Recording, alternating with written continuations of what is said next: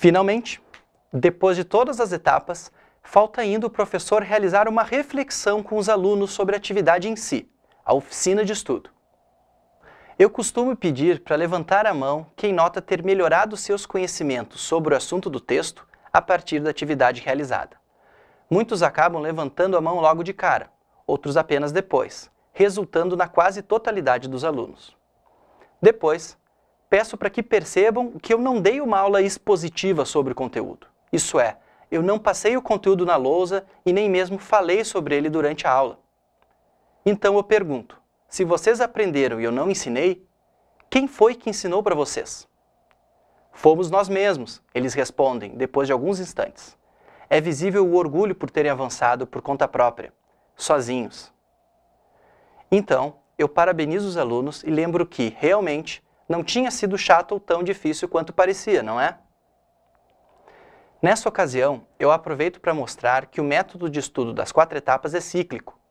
Se eles ficaram com dúvidas, podem reiniciar os passos, lendo o texto de forma panorâmica, marcando e sublinhando o que faltou, completando as anotações e voltando aos exercícios.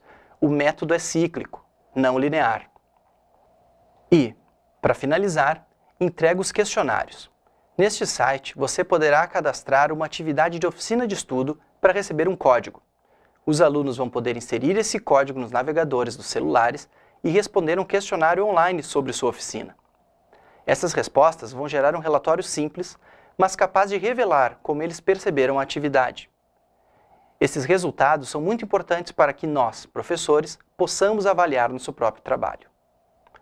Os alunos, por sua vez, se sentem valorizados pelo simples fato de terem a sua opinião registrada, sua voz escutada.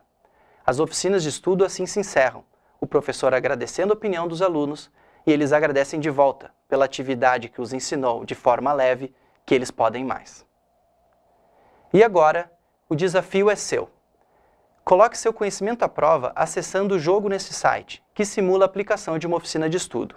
Essa é uma forma de colocar em prática tudo o que vimos aqui neste tutorial. E, finalmente, eu gostaria de deixar aqui uma reflexão. Tanto falamos sobre os problemas da educação e sentimos isso na pele. Muito precisa ser feito por várias pessoas e agentes públicos. Mas e nós? Sim, a gente dá conta da nossa rotina e mata no peito essas dificuldades. Na verdade, elas são tantas que talvez não tenhamos muito a perder se fizermos essa experiência. Então, por que não tentar? Confio que uma parte muito grande da mudança que precisamos está em nossas mãos, de nós professores.